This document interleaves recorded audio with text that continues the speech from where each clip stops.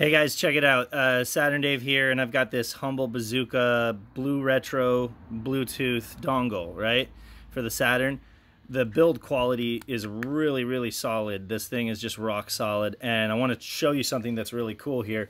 I'm gonna go ahead and plug it in to the Saturn here. It has a nice snug fit, and I just press. It like starts up in discovery mode, right, and pairs with my controller instantly. And then uh, we're gonna go to the satiator here. I'm gonna show you, I apologize for the uh, dude mowing his lawn in the background, but it is early in the morning, so uh, we're gonna boot up Nights into Dreams here.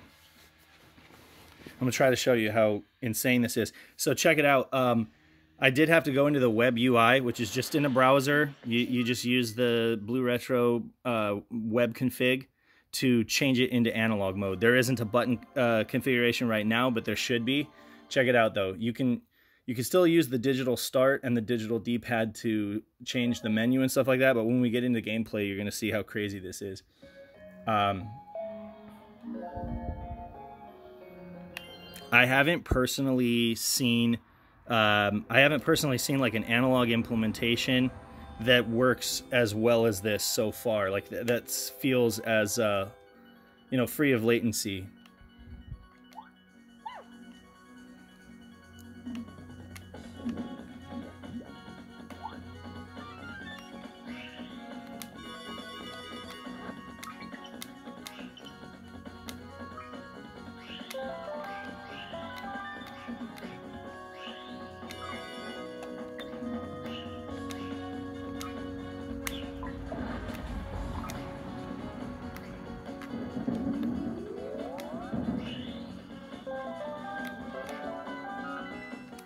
This is the, by the way, this is the GuliKit uh, King Kong Pro or the wireless Zen controller. Uh, sorry for the focus, the change in focus, but I'm just doing this on my phone real quick. Um, yeah, like it's it's hard. It's really, really hard to tell the difference between this and a Saturn 3D control pad. Actually, I, there may not be a difference. I'm not even kidding you right now. Like, uh, this is really exciting to me because I'll tell you what, I tried out the uh, I tried out the Retrobit controllers at uh, PRGE, and they did not they were not this responsive. No offense to Retrobit, I'm, I'm sure like they've got some work to do, and I'm sure that they're going to keep getting better. But I mean, this right here is just.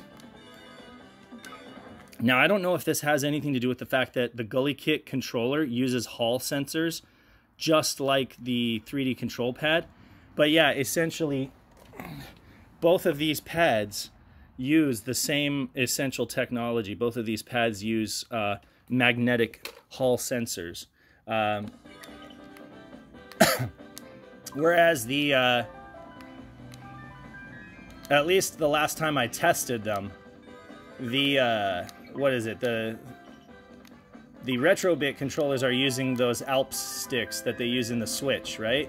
Which are basically volume sensors, which is a, you know, it's a traditional it's a traditional approach. But now that GuliKit actually provides, GuliKit actually sells um, Switch Hall sensors for your Switch. You know, it's uh, it's like a no-brainer. You know that they they should uh, upgrade to those since they haven't put out the product yet, and that's my official opinion on the matter. I definitely think that it that at this point it's almost like they have no excuse but not to to do it. But anyway, um, like there you go.